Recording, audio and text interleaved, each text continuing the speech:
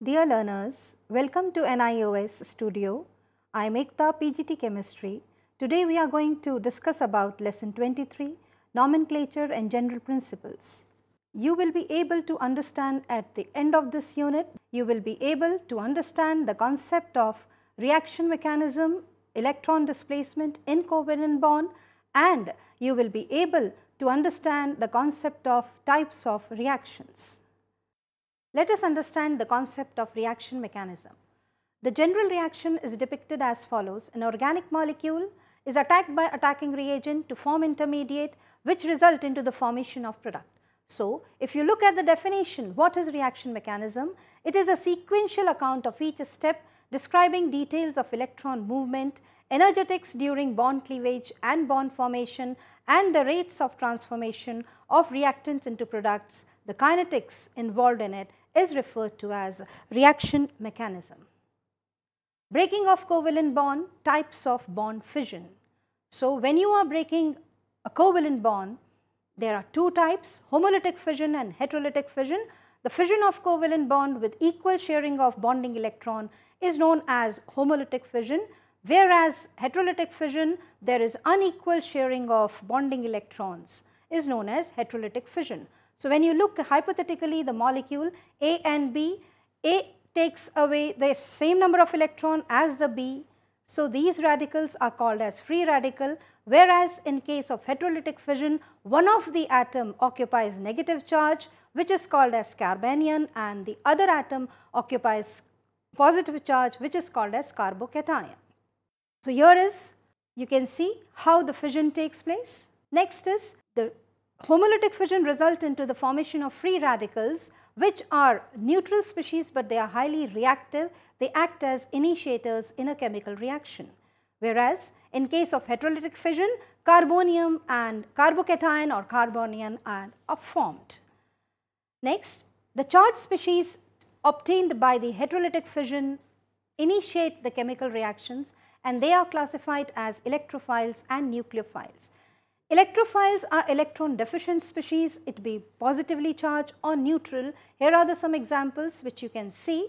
Uh, whereas nucleophiles are negatively charged or electron rich neutral species. Examples are OH minus, NO minus, water molecule and nucleophiles attack a position of low electron density whereas electrophile attacks a position of high electron density. Electron displacement in covalent bond. For a chemical reaction to occur, breaking of covalent bond takes place by the attack of electrophile or nucleophile. Thus, molecule or bond under the uh, develop a polarity on some of the carbon atom. This polarity can be developed by the displacement of bonding electrons due to certain effects. Electronic effects may be permanent like inductive effect or temporary like electromeric effect in nature.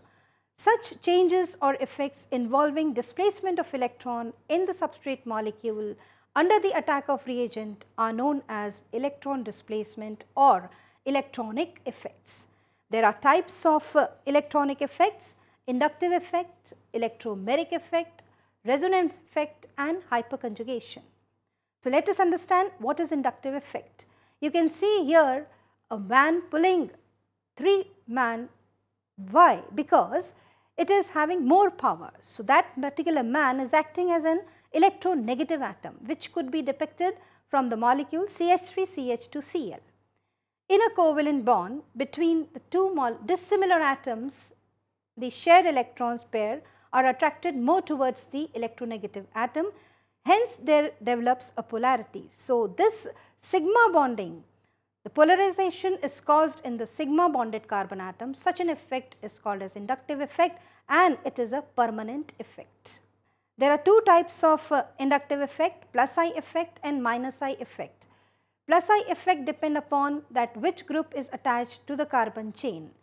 If electron release, releasing groups or electron pushing groups are attached as shown then they will show plus I effect. If electron withdrawing groups are attached, then they will show minus I effect. Electromeric effect is a type of temporary electronic effect. It takes place in the compounds containing multiple bond like C double bond O, C double bond C etc. So, you can see here in the molecule C double bond O, O being electronegative will pull the electrons towards itself becoming negatively charged and carbon becomes positively charged. There are two types of electromeric effect, positive electromeric effect and negative electromeric effect. So, from the figure it is quite clear that one of the carbon will attract the pi electron and will become negatively charged and if you add on a positively charged species or electrophile to it then it will be attacked or it will go to a negative carbon. Whereas in negative electromeric effect in this effect the pi electrons of the multiple bond are transferred to that atom to which the attacking reagent does not get attacked. For example, when you add nucleophile say Cn minus, so it will go to that carbon which has positively charged. It cannot go to negative charge carbon because it will show repulsion there. Next is resonance, a very important phenomena is exhibited by number of organic molecule which can be represented by two or more structures which are called resonating or canonical structures. However, none of those structures explains all the properties of the compound. All the possible structure of compound are arrived by redistribution of valence electron. The true structure of the compound is an intermediate of all the possible resonating structure or canonical structures called resonance hybrid which is quite clear from these pictures which is an example given here is of benzene you find that there are double bond, alternate double and single bond. You find the position of the double bond in structure 1 and structure 2 varies. Whereas in the third structure there is a ring which shows that double bond is single bond are resonating in a molecule. Why this happens? Because when the bond length in case of benzene was measured between CH, single bond CH and C double bond C, it was observed that it was 139 picometer which was intermediate between C single bond C bond length which was 154 picometer and C double bond C bond length which was 130 picometer. So, it was considered that this particular molecule shows a resonance. Another example could be taken of ethyl ethanoate ion. Next topic is hyperconjugation. It involves delocalization of electron of C single bond H of an alkyl group directly attached to an atom of unsaturated or to an atom with unshared p orbital. The electrons of CH bond of the alkyl groups enter into partial conjugation with the attached unsaturated system or with unshared p orbital. Hyperconjugation is a permanent effect, you can see it from the figure. Now let us understand the types of reaction. There are four types, substitution reactions, addition reactions, elimination reactions and molecular rearrangement. Let us consider the first reaction, the substitution reaction. Substitution reactions are of two types, nucleophilic substitution reactions and electrophilic substitution reactions.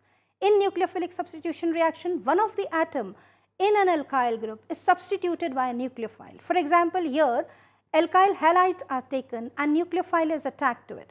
So, when you attack nucleophile, it is substituted by X, where X is a halogen. So, haloalkanes on attacking with a nucleophile will result into the formation of uh, halogens like chlorine, fluorine, bromine etc. In case of uh, electrophilic substitution reaction generally it takes place in aromatic compounds like benzene. So, here benzene is attacked by or reacted by HNO3 and H2SO4. This particular reaction is called as nitration of benzene in which NO2 group is attacked on the benzene ring. Why electrophilic substitution takes place? Because benzene ring is already electron rich. Benzene does not undergo nucleophilic substitution reactions. Now, next is addition reaction. Addition reaction generally takes place in unsaturated hydrocarbons such as alkenes and alkynes which are extremely reactive towards wide variety of reagents. Here the double bond is broken and the compound is added to it. For example, it is shown here ethene is taken and you are adding bromine to it. So, double bond will be broken and Br molecule will be completely added. So, this particular reaction is called as addition reaction. Next is elimination reaction. In elimination reaction which could be simply understood by taking an example, here we have taken an example of ethanol in which you are eliminating a particular molecule and the product formed will be a double bonded compound. So, this is also called as dehydration and this particular reaction is taking place in presence of certain catalyst. Next is molecular rearrangement. Molecular rearrangement proceeds with a fundamental change in the hydrocarbon skeleton of the molecule. During the reaction an atom or a group migrates from one position to another. For example, here it is 1 chlorobutane on reaction with aluminium chloride which acts as a Lewis acid forms 2 chlorobutane. So, there is only a rearrangement of the atom within the molecule. Such reactions are called as molecular rearrangements. Thank you.